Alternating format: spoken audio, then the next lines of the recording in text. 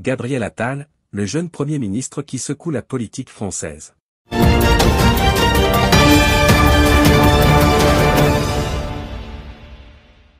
Gabriel Attal, célèbre pour avoir instauré l'interdiction du port de la baya dans les établissements scolaires, accède à la fonction prestigieuse de Premier ministre de la France.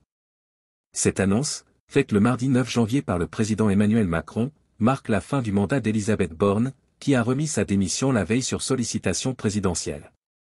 À seulement 34 ans, Gabriel Attal se distingue en devenant le Premier ministre le plus jeune sous la Ve République. De surcroît, il est le premier à révéler publiquement son homosexualité, marquant ainsi une avancée dans le paysage politique français.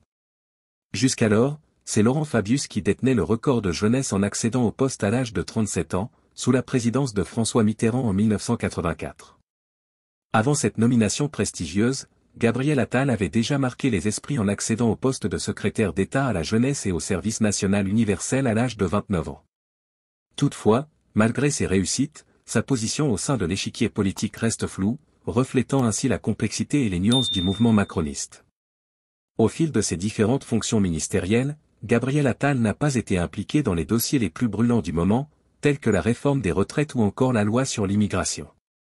Sa décision emblématique d'interdire le port de l'abaya dans les écoles en septembre a engendré un débat passionné.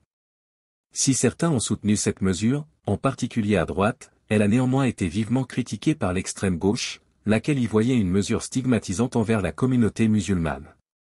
Cette décision controversée a toutefois renforcé la popularité d'Atal auprès de certains segments de la droite et de l'extrême droite, dans un contexte où ces mouvements gagnent en puissance en France.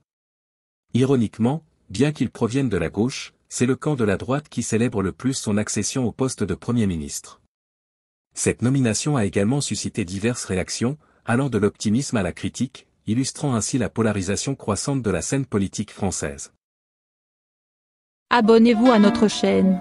Cliquez sur la cloche pour rester au courant de l'actualité algérienne.